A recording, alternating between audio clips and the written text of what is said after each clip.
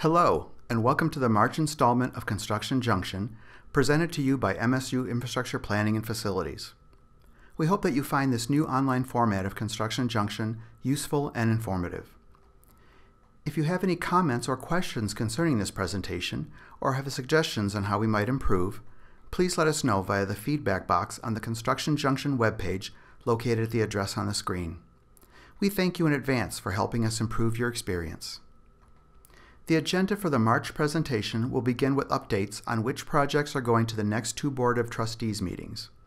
There will then be an informational presentation on the campus snow plan.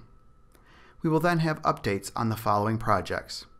Grand Rapids Real Estate and Research Facility Development, Breslin Student Event Center, Facility Upgrades, MSU Scene Shop, Kellogg Center alterations to Room 61, 62, and Corniche Room, Engineering Building chiller replacement, and Giltner Hall alterations to Fish Lab. Beginning with the April Board of Trustees meetings, the projects going to the board will be, for Step 1, Authorization to Plan, Engineering Research Complex, Addition 4 and renovations, and for Step 3, Bid and Contract Award, Food Processing and Innovation Center. Moving on to the June BOT meeting, the projects going to the board will be, for Step 1, Authorization to Plan, Hannah Administration Building, third floor alterations, and Spartan Stadium, installation of permanent lights. And for Step 2, Authorization to Proceed, Data Center, construct original building.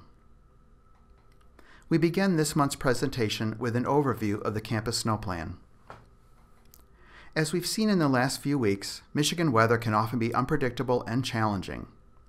When conditions warrant, we ask that you practice good snow safety by giving yourself extra time to travel to work, driving carefully, dressing warmly, wearing sensible shoes with good traction, being extra aware of where you are walking and the condition of your path, shortening the length of your stride, and remembering to check the forecast before heading outside. For your safety, please remember to not dart out in front of or behind snow removal equipment. It is large, loud, and difficult to stop quickly. And please make eye contact with snow removal equipment operators before crossing in front of them. The university uses a combination of brine and ice melt compound to combat icy conditions. Brine solution works by preventing adhesion of snow to hard surfaces, while ice melt is used on ice that has already formed. Often both are used in combination to speed the time it takes for the melting compound to take effect. If you see any icy spots on campus, please call the campus operators at 353 1760 to report. Please remember that it does take time for ice melt compound to take effect. Here you can see the effect that preventative brining has on the ability of crews to cleanly remove snow and ice. The areas that were brined kept snow and ice from sticking to them, thus allowing complete removal, unlike the areas that were not brined, which still retain some snow and ice even after snow removal equipment has passed. Again, an example of the preventative effect of brining ahead of a snow event.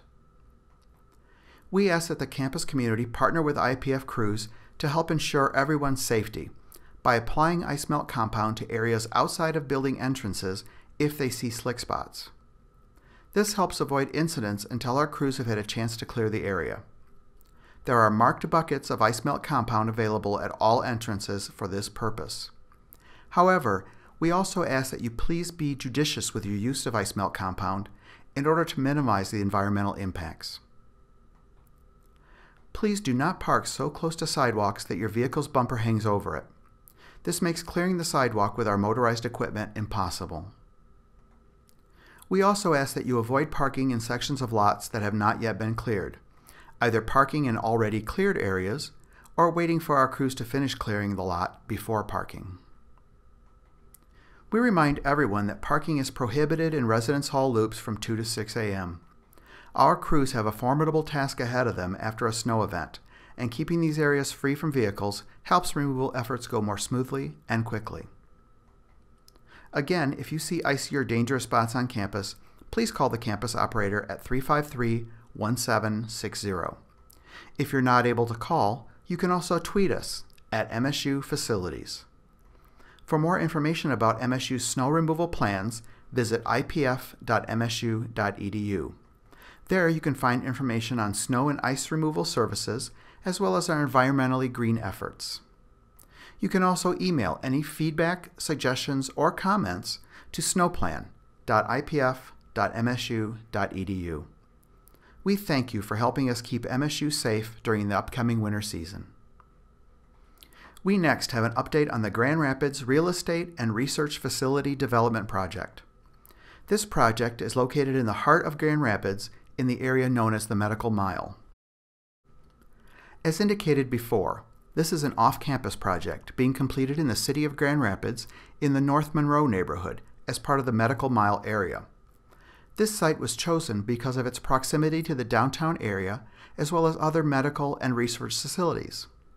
This building will be the cornerstone of the North Monroe neighborhood redevelopment and river restoration projects. On November 19, the placement of the final steel beam was marked with a topping off ceremony that included researchers as well as an address from the interim dean of the College of Human Medicine, Dr. Aron Sousa. Construction on this project began in June and is scheduled to be ready for occupancy in July of 2017. Currently, the project is running on schedule. Here you see the site plan for the new structure. It will abut both Michigan Street and Monroe Avenue, with ample space to the north for parking. The site has additional space available to accommodate any future possible additions. Here is an aerial view rendering of the plaza. It is worth noting that as part of the North Monroe neighborhood redevelopment, there are plans to build a restaurant and mixed-use space directly across Monroe Avenue from the building. Here we have an exterior rendering of the view from Monroe Street. Here you see progress of the site beginning on March 23, 2015, with demolition of the existing Grand Rapids Press building, and progressing to February 25 of this year. Here you see the weather enclosure that allows for work to be continued on the building interior, protected from cold temperatures and inclement weather. Work is ongoing with the installation of studs, drywall, conduit, piping, and ductwork. At this time, approximately 95% of the mechanical equipment is in place in the building penthouse. Here you see examples of some of the components that are being installed in the structure, including color-coded conduit and spray-on fireproofing. Many of these components have been pre-manufactured to allow for more efficient installation. Some of the building systems, including the exterior walls and lab workspaces, are being tested in mock-up versions prior to installation to ensure that all components work together to desired specifications. At this time, plans are being finalized with regard to furniture design and scientific equipment selection. Here you see some of the completed concrete and mechanical systems installations. Work continues on the installation of the atrium skylight, as well as work on the second floor of the atrium. For those of you who would like to follow the progress of construction on this project, please check out the live webcam site at the address on the screen. There you will be able to see past and present views of the site. In this capture, you can see an example of exterior wall mock-up that is being tested prior to the installation of the entire system. If you would like further information about this or any other project, visit the construction.msu.edu webpage. There you will find links to all current and past projects. Specific questions regarding the Grand Rapids Real Estate and Research Development Project can be directed to the design representative, Dick Temple, the project representative, Mike Morgan, or the construction manager, Chad Webster, with Clark Rockford Construction. Next, we have an update on the work that has begun on the Breslin Student Event Center Facility Upgrades Project. The Breslin Center is located in the Athletic and Recreation District. The university is undertaking this project in order to enhance the student, alumni, fan, and public experience by improving the functionality of the event center. To create a lasting legacy by integrating a sense of Spartan tradition throughout the facility, and to extend the useful life of the building by improving services to the fans and implementing major maintenance items. The project will be divided into two phases, facility upgrades and athletics addition. The phases are being designed in a way that minimizes rework and are being fully coordinated throughout their design and construction. Phase 1 will include a 22,000 square foot addition around the building, an expanded concourse, renovation and upgrading of the restroom facilities, renovation of concession stands, improvements to the entry vestibules to main concourse, improvements to finish levels and experience on the concourse, improvements to site conditions for ingress and egress, improvements to site security, replacement of the chiller system, and connection to the East Lansing water system. Phase 2 will include a 30,000 square foot addition, which will create a sense of main entry and destination into the building, and which will include a basketball hall of history.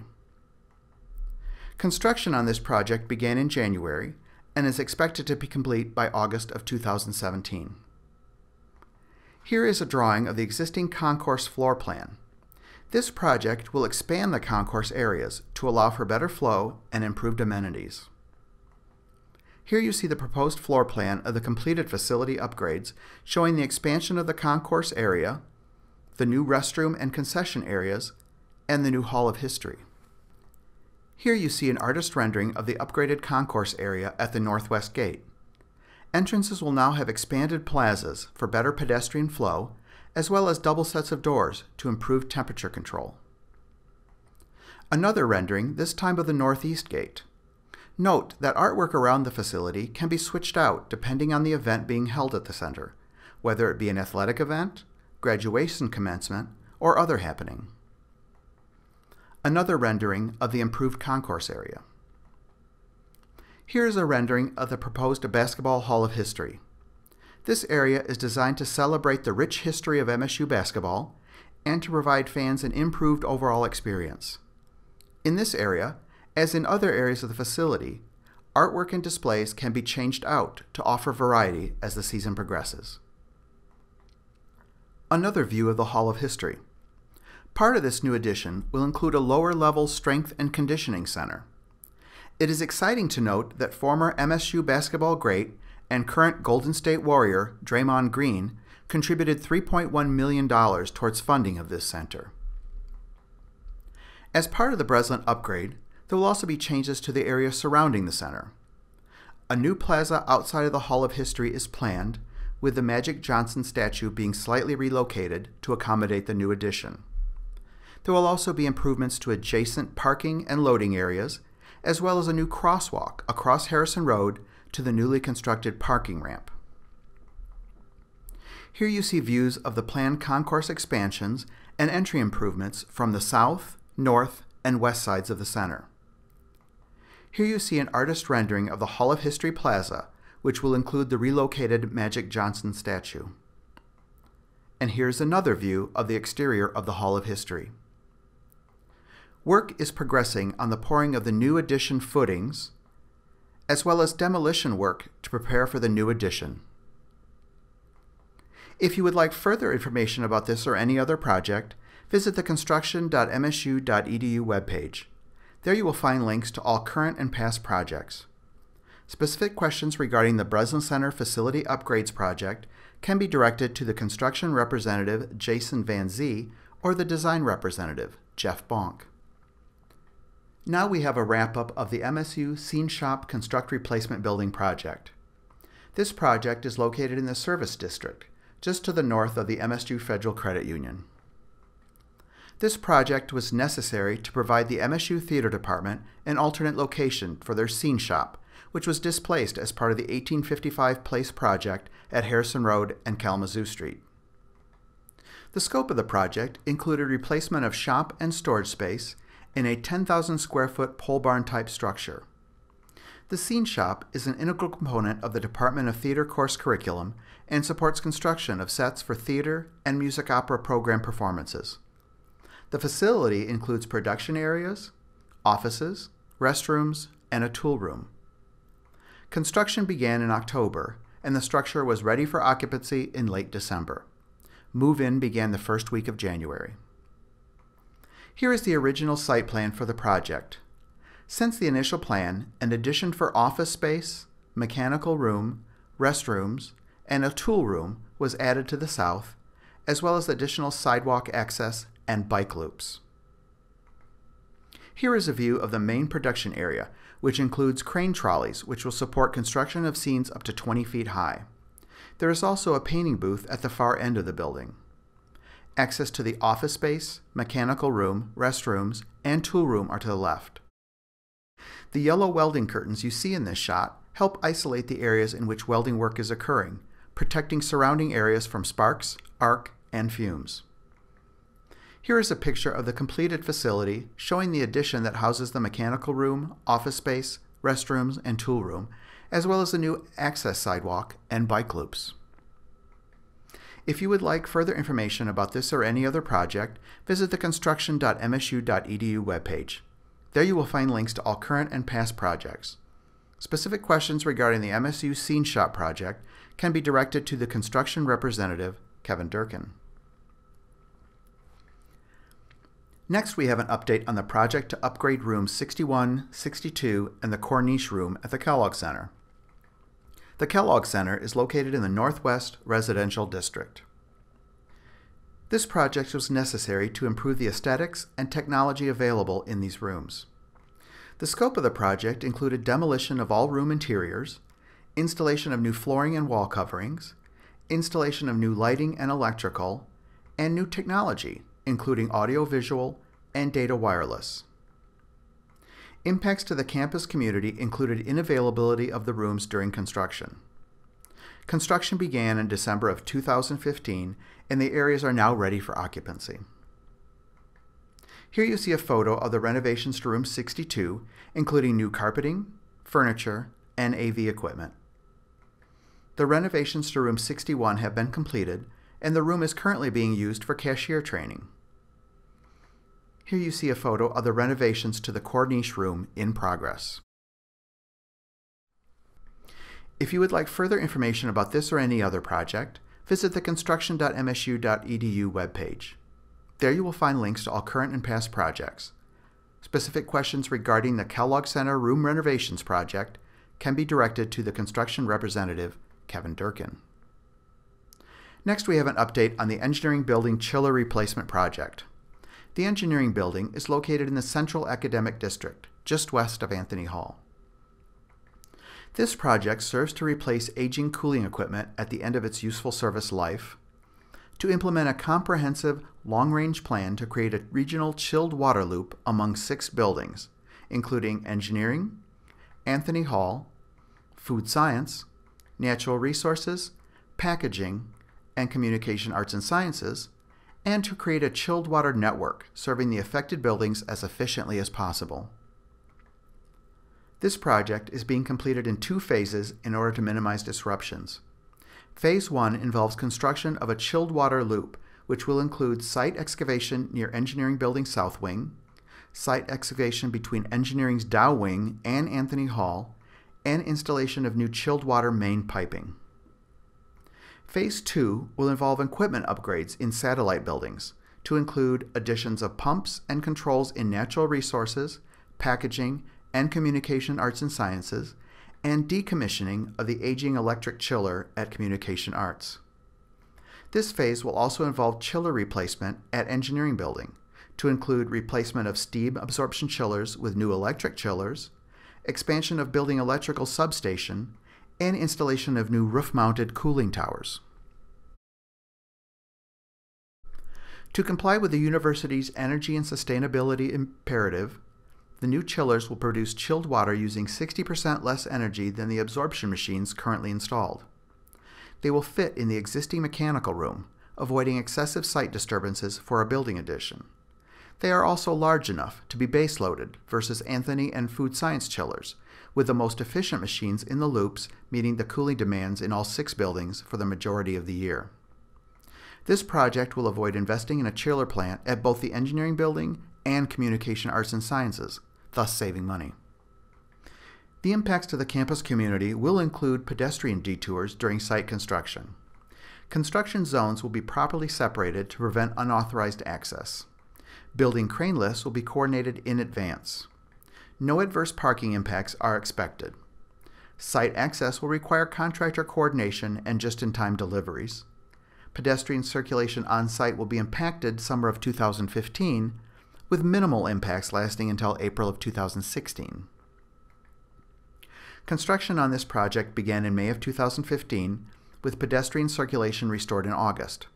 The chiller system will be substantially complete in April of 2016. Here is an aerial view of the Phase 2 construction site zone. Note that all building entrances will remain open during this phase. Here you see the location on the engineering building roof where the new cooling towers have been installed. Here is a photo of the engineering building mechanical room after installation of one of two new chiller units. And here's a view of the second chiller that was installed in the engineering building basement. Here you see a photo of the new pumps, which are located in the basement of the engineering building. If you would like further information about this or any other project, visit the construction.msu.edu webpage. There you will find links to all current and past projects. Specific questions regarding the engineering building chiller replacement project can be directed to the construction representative, Todd Wilson. Lastly, we have an update on the Giltner Hall Fish Lab renovations. Giltner Hall is located in the North Academic District. This project is being coordinated by the Faculty Readiness Project Team. This team is comprised of representatives from both infrastructure planning and facilities, as well as facilities planning and space management. They work together with colleges to proactively plan for potential new hires, utilizing various delivery methods to shorten the bidding process, and creating construction timelines that provide a positive experience for the college and a welcoming environment for new faculty. This process helps to deliver a project that is of high quality, time and cost efficient, and supports the advancement of the university's research agenda. This project is necessary to provide a new zebrafish facility and various supporting lab and office spaces for two new integrative biology researchers that have been recruited from Oregon. The scope of the project includes renovations to rooms 39, 40, 41, 65, 67, 344A, and 363. In rooms 39, 40, and 41, there will be new security access, new lighting controls, cosmetic upgrades to the office in room 39, shoring a floor from the sub-basement, connections to aquaneering fish lab equipment, including three large fish tank rows in the main fish room, new flooring, ceiling, and furniture in the developmental lab, a new quarantine room, a changing room for faculty, infill of an existing lab door, a new mechanical room with equipment for the lab's own HVAC system, which provides required air changes and temperature requirements for the fish room, and exterior door and masonry work for the entryway to the new mechanical room. In rooms 65 and 67, there will be a new wall installed to separate the imaging and injection areas. In rooms 344A and 363, there will be cosmetic upgrades to the labs and offices on the third floor. Impacts to building occupants will include construction noise and periodic steam shutdowns. Construction began in March and will continue through July. Here you see photos of the existing areas prior to demolition, both the main fish lab as well as the imaging and injection lab. The plans for the new space are currently 90% complete and will create office space, developmental labs, a changing area, quarantine room, fish room, filtration room, and a mechanical room. Here you see more detailed plans of both the injection and imaging lab in room 67, as well as the renovated office space in room 39. If you would like further information about this or any other project, visit the construction.msu.edu webpage. There you will find links to all current and past projects. Specific questions regarding the Giltner Hall Fish Lab project can be directed to the Faculty Readiness Project representative, Monty Pride. This concludes the March Construction Junction presentation. We encourage you to visit the Infrastructure Planning and Facilities website at www.ipf.msu.edu. There you will find information on construction and maintenance alerts, detour information, construction junction information, project, and contact information. There are also a number of other IPF resources available, including listservs that you can subscribe to to keep up to date with various IPF projects and events. Stay connected with IPF via social media. follow us on Twitter, like us on Facebook, and watch our videos on YouTube. Construction Junction presentations will be made available on the CJ website beginning the 7th of each month. For our April presentation, we will be holding our annual Construction Awareness Day event on Thursday, April 14th at 8:30 a.m. in the College of Law, room 474. We will then return to the online format beginning in May. We thank you for taking the time to check us out, and we hope you'll visit again.